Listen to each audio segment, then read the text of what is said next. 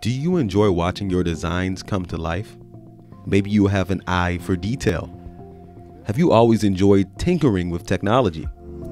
You could enjoy producing products that make the lives of you and your neighbors just a little bit easier. Find out where you fit in the world of industrial and engineering technology. Come talk to the professionals. Visit HenricoCTE.com on February 23rd for a link to our virtual Life Ready Expo.